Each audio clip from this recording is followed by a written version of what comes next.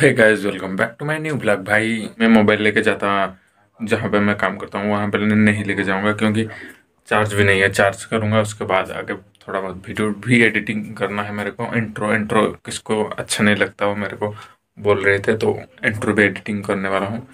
और इसमें काम पे आया था ना, वो ख़त्म हो चुका है। अब भी मैं गाँव जा रहा हूँ, क्योंकि अगर आप लोगों को बिलीव नहीं हो रहा कि मैं काम कर रहा तो ये भाई हथियार रहा।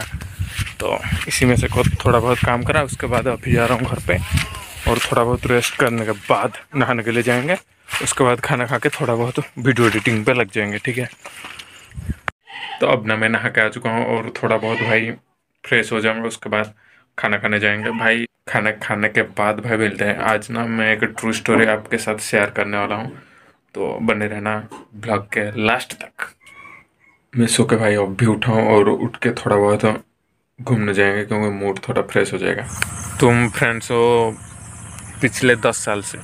तुम फ्रेंड्स हो पिछले दस साल से और उसमें एक लड़की आई। वो तुम मतलब ठीक से नहीं रहेगे ना तो ठीक से नहीं रहेंगे ना, तब वो लड़की तुम्हारे दस साल में ना एक चुटकी से पानी फिरा सकती है। मतलब तुम्हारी जो दोस्ती है, वो सब कुछ उस लड़की के ऊपर डिपेंड हो जाएगा। अगर ठीक से नहीं रहेंगे तो बेसिकली बोलेंगे तो लड़की है जो कि रिश्ता बचा सकती है और लड़की जो है कि रिश्ता मिटा सकती है। तो इसलिए ना मैं, मेरे, ये शायद है, अभी हो गया दो साल दो साल से पहले पीछे का ये वाला इंसिडेंट है तो ये मैं बोलने वाला था, लेकिन रियल है यार, ठीक है।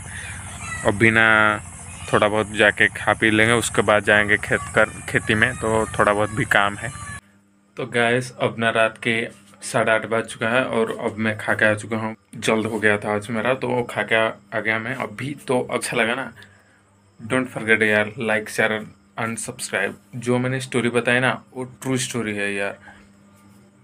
मिलते हैं अगले ब्लॉग में। तब तक bye bye and take care